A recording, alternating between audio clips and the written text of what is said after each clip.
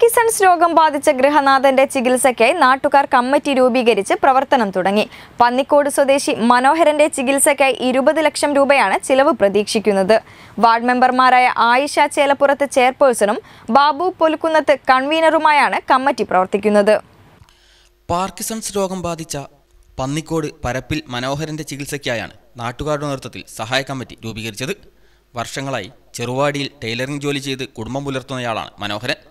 കുടുംബത്തിന്റെ ഏക ആശ്രയമായിരുന്നു ഇദ്ദേഹം. തിരുവനന്തപുരം ശ്രീചിത്ര ആശുപത്രിയിൽ ചികിത്സ തേടുന്ന മനോഹരന് ശസ്ത്രക്രിയ നിർദ്ദേശിച്ചിരിക്കുകയാണ് ഡോക്ടർമാർ. ഇതിനായി ഇരുപത് ലക്ഷത്തോളം രൂപയാണ് ചിലവ് പ്രതീക്ഷിക്കുന്നത്.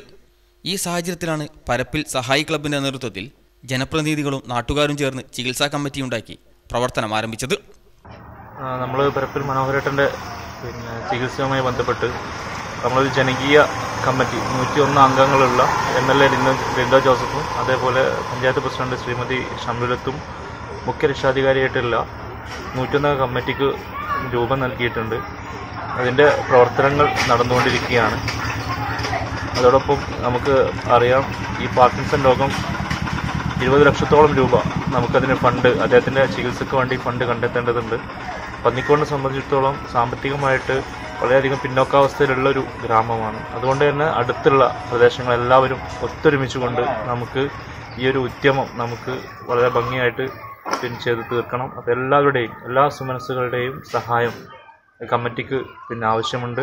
Lindo Joseph M L A Kodiyathur ഗ്രാമപഞ്ചായത്ത് പ്രസിഡന്റ് വി ഷംലൂലത്ത് എന്നിവർ മുഖ്യ രക്ഷാധികാരികളായ കമ്മിറ്റിയിൽ പഞ്ചായത്ത് അംഗങ്ങളായ ആയിഷ ചേലപ്പുറത്ത് ചെയർപേഴ്സണും Babu Poluvunnath general കൺവീനറുമാണ്.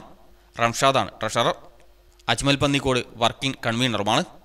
Mukkam federal bank ശാഖയിൽ പുതിയ അക്കൗണ്ടും ആരംഭിച്ചിട്ടുണ്ട്. ഒരു നാടിന്റെ ഒന്നാകെ കൂട്ടായ്മയിൽ മനോഹരന്റെ ചികിത്സയ്ക്ക് ആവശ്യമായ പണം സമാഹരിക്കാനാവുമെന്ന പ്രതീക്ഷയിലാണ് നാട്ടുകാരും. സി പ്രാദേശിക വാർത്ത മുക്കം.